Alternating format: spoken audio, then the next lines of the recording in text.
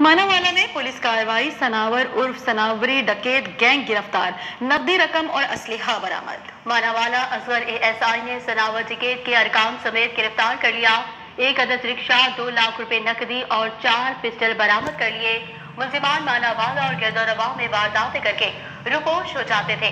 थाना मानावाला पुलिस ने जदीद टेक्नोलॉजी से मुलजिमान को गिरफ़्तार कर लिया।